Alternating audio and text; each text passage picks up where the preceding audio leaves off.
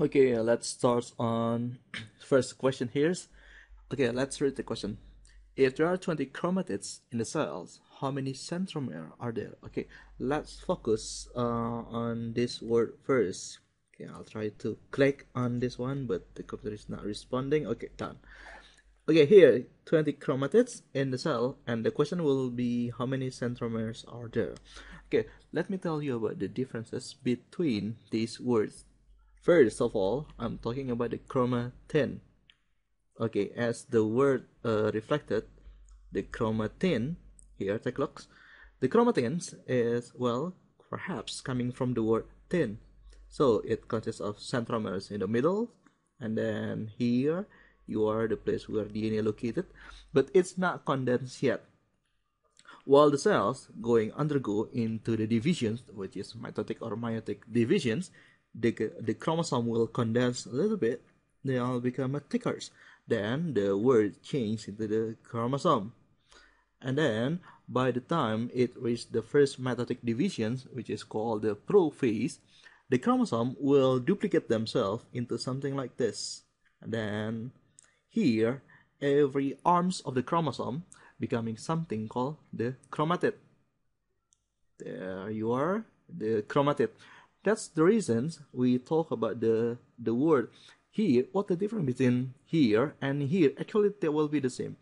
Let's say here we got the the genes A, capital A, and this small a, and we got over here capital B and small b, and this is the the symbol for the dominant genes and here you are the symbol for the recessive genes both we call it the sister chromatid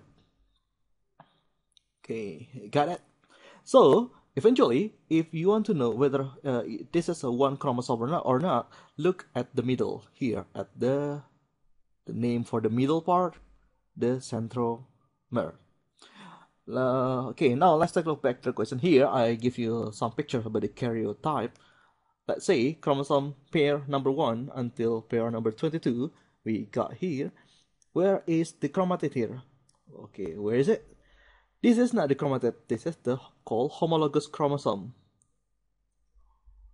The homologous chromosome is like a one here. Okay I'll, i'm going to uh, use a different kind of color here.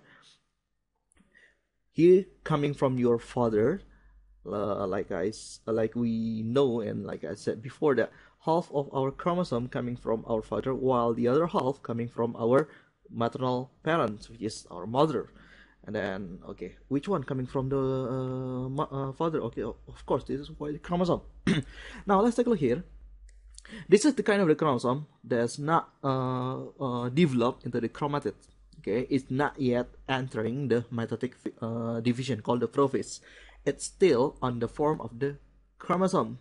Uh, now, back to the question.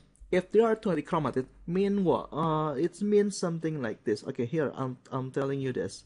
Let's say there are do not, uh, don't mind about the, the number of the how many sets of the chromosome. Let's say something like this. Remember, if you want to know how many chromosome it is, just look into the centromere. Okay, if I if my question will be like this, how many chromosome are there?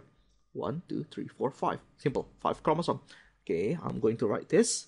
There are five chromosome. Let's say I'm going to ask you how many chromatids. Your question, uh, your answer will be double the number of the chromosome, right? Because it has, let's say, chromosome number one, number two, number three, four, and five, and then number one has two chromatids, right?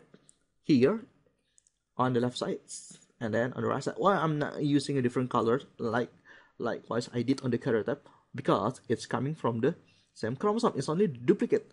That will be different with the homologous chromosome. It's coming from different part of the cells. Which is this is coming from your uh, father. This is coming from your mother. That's the reason I'm using. I differentiate the color over here.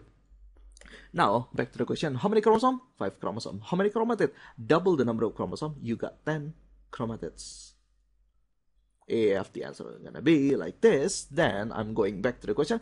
If there are 20 chromatids in the cell, how many uh, how many centromere are there? That will be you are going to make it half of the 20. that will be the answer will be 10, right?